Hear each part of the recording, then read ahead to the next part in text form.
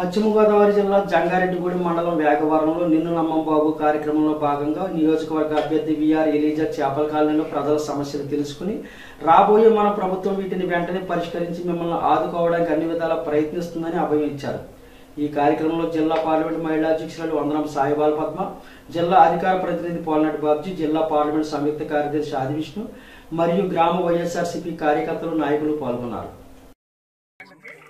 Pension ఇస్తామని జగన్మోహన్ రెడ్డి గారు రెండు వేల రూపాయలు ప్రతి నెల అయితే జగన్ కూడా మన జగన్మోహన్ రెడ్డి గారు చెప్పిన హామీని చంద్రబాబు నాయుడు నిర్మాణం చేసి "నేను- నేను చెప్పేసి అన్నారు.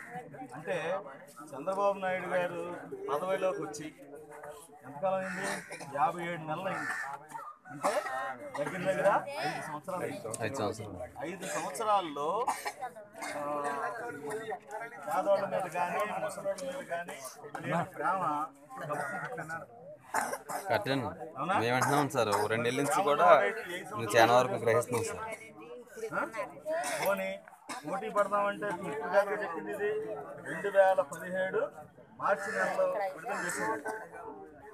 రెండు వేల పదిహేడు. అంటే ఇప్పటికి దగ్గర దగ్గర రెండు సంవత్సరాలు అవుతుంది. చెప్పి ఈ రెండు సంవత్సరాల్లో కూడా చేయలేదు. ఇప్పుడు ఎన్నికలు వస్తున్నాయి అని చెప్పేసి దగ్గర దగ్గరికి వచ్చి ఖచ్చితంగా మేము కూడా ఇస్తాం రెండు వేలు అని చెప్పేసి ఆయన చెప్తున్నారు. అంటే అది కపట ప్రేమ. అర్థమైందా? అది నిజం కాదు నమ్మొద్దు. ఇచ్చినా కానీ ఏంటంటే జగనన్న చెప్పింది ఏంటంటే అడుగులందరికీ చెప్తున్నారు. వాళ్ళు ఏం చేస్తున్నారు? అరవై ఐదు ఏళ్ళకి ఇంట్లో ఒకరికే ఇస్తారు. కానీ మనం అలా కాదు. అరవై ఏళ్ళకి ఇస్తాము. ఇంట్లో ఎంతమంది పెద్దవాళ్ళు ఉంటే అందరికీ ఇస్తాం.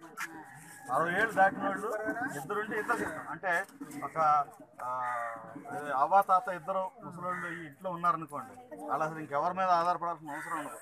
ఇద్దరికి చెరవ రెండు వేలు ఇస్తే నాలుగు వేల రూపాయలు ఉంటాయి ఇల్లు ఇస్తాం. ఒక ఇంట్లో ఉంటారు హ్యాపీగా వాళ్ళు ఏది కావాలంటే అది వండుకుని తింటారు. కోడళ్ళు చూడాల్సిన అవసరం లేదు. కోడలతో మాట్లాడాల్సిన అవసరం లేదు. సార్. కాబట్టి కాబట్టి పెన్షన్ల విషయంలో కూడా చంద్రబాబు చేస్తున్న మోసాన్ని మీరందరూ గమనించాలి. మోసపోవద్దు. డ్వాక్రా రుణాలు డ్వాక్రా రుణాలు ఉన్నాయా మీ అందరికీ? లేవా? ఉన్నాయండి సార్ ఉన్నాయా. డ్వాక్రా రుణాలు మాఫీ చేస్తాను. రెండు వేల పద్నాలుగులో చెప్పాడా? చెప్పాడా? చెప్పారండి. రెండు వేల పద్నాలుగులో ఇచ్చిన మాట నిలబెట్టానన్నాడు. ఇప్పుడు ఈ మాట ఇస్తే నిలబెట్టుకుంటాడా? కదా? ఐదు సంవత్సరాలు ఇప్పుడు చెప్తున్నారు కానీ రెండు వేల పదిహేడులో రెండు వేల పదిహేడులో జగన్మోహన్ రెడ్డి గారు ఆల్రెడీ ఇది ఇచ్చారు. చదువుకున్న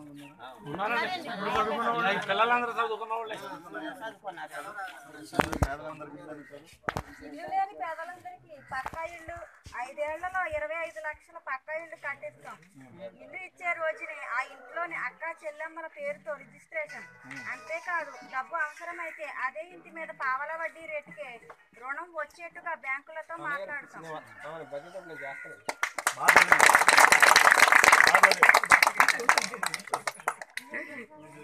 నేనంటే ఎక్స్పెక్ట్ చేయలేదు బాధ నేను చెప్పింది కాదు కదా దాంట్లో ఉన్నది అమ్మాయి కదా. కదా? ఇప్పుడు నేను చెప్పిన మాటలు కాదు ఇవి. జగన్మోహన్ రెడ్డి గారు చెప్పిన మాటలు ఇవి. ఖచ్చితంగా మీ అందరికీ కూడా వాళ్ళు స్థలాలు అడుగుతున్నాను. నేను ఇల్లు ఇస్తాను పక్కా ఇల్లు మీ అందరికీ వస్తాయి. కాకుండా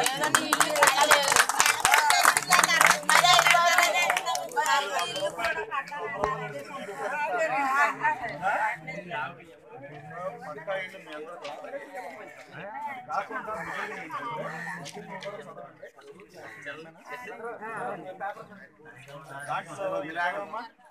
అమ్మఒడి పథకం పిల్లల్ని బడికి పంపించారు పిల్లల్ని బడికి పంపిస్తే వాళ్ళు చదువుకోవడం కోసం తల్లికి జగనన్న సహాయం చేస్తారు. ఎలా సహాయం చేస్తారు? ఒక్కొక్కరికి పదిహేను వేల రూపాయలు చొప్పున ప్రతి సంవత్సరం నేరుగా తల్లికే ఇస్తారు. తండ్రికి నేరుగా తల్లికి ఇస్తారు. బిడ్డల్ని చదివించుకోవడానికి ప్రతి సంవత్సరం పదిహేను వేలు ఇస్తారు. పేదింటి పిల్లల చదువులకు ఏ తల్లి భయపడద్దు. పిల్లలని బడికి పంపిస్తే చాలు. ప్రతి తల్లికి సంవత్సరానికి పదిహేను వేల రూపాయలు ఇస్తాం. ఓకే? పిల్లల భవిష్యత్తు బాగుండాలంటే పిల్లల భవిష్యత్తు బాగుండాలి. పిల్లలు బాగా చదువుకుంటే ఇందాకే తమ్ముడు విష్ణు చెప్తా ఉన్నాడు ఇక్కడ చదువుకున్న వాళ్ళు ఎక్కడెక్కడ ఉద్యోగాలు చేస్తున్నారు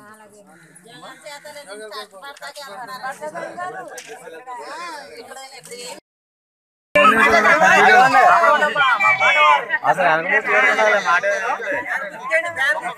అసలు అప్పుడు మాట నిలబెట్టుకోవాలన్న మనిషి.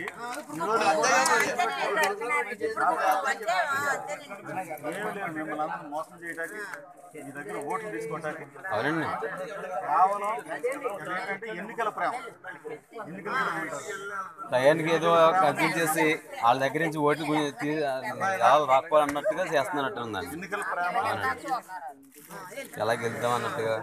ఎన్నికల ప్రేమ కాబట్టి ఇవన్నీ కూడా డ్వాక్రా రుణాలు రెండు వేల పద్నాలుగు నుంచి ఆయన ఏమీ చేయలేదు. ఇప్పటికిప్పుడు మీకేంటి రెండు వేలు ఇస్తానంటున్నాడు? Cell phone ఇస్తానంటున్నాడు? ఏం చేసుకుంటారు?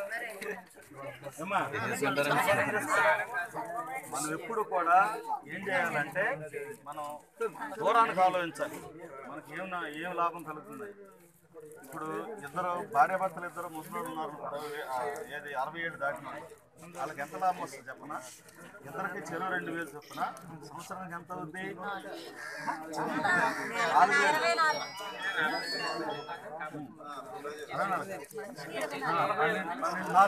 నలభై ఎనిమిది వేలు నలభై ఎనిమిది వేలు వస్తుంది చంద్రబాబు ఇచ్చే ఫోన్ నాలుగు వేలు నాలుగు వేలు కూడా ఉండవు పలకలో కొంటే రెండు వేలు వస్తుంది అర్థమైందా ఇలాంటివన్నీ కూడా చేస్తున్నారు. దయచేసి మీరు మళ్ళీ ఇప్పుడు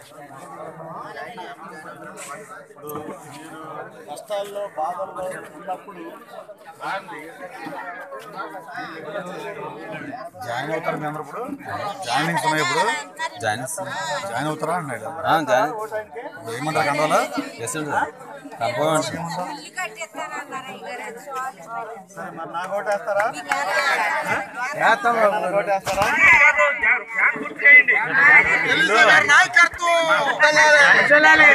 మన గుర్తేంటి